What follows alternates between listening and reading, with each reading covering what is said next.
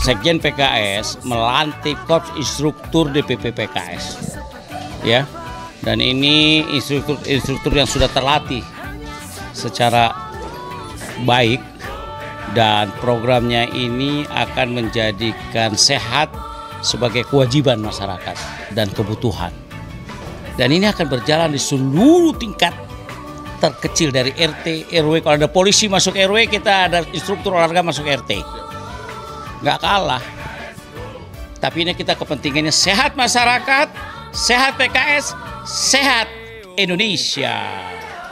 Di sela-sela kegiatan juga dilakukan talk show untuk mengabarkan kepada para kader dan simpatisan agar dapat mengikuti rangkaian acara secara daring. Gerakan nasional donor darah ini merupakan bagian dari rangkaian acara Rakernas PKS dan merupakan awal kerjasama permanen yang dilakukan PKS bersama PMI DKI Jakarta.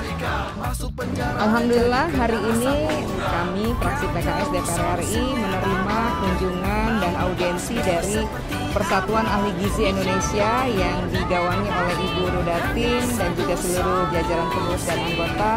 Hadir di sini Pak Adrianto dan juga Bu Lilis.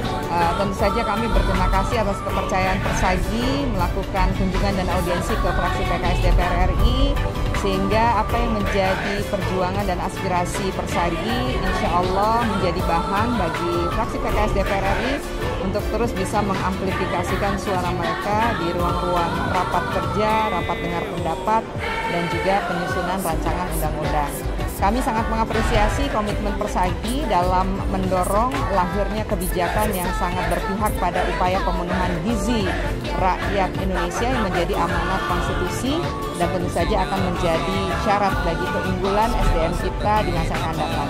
Dan slogan Indonesia Emas tentu saja dapat kita wujudkan jika gizi ini dikawal mulai dari kebijakan sampai program kegiatan yang benar-benar bisa mewujudkan anak dan masyarakat Indonesia yang sehat dan kuat.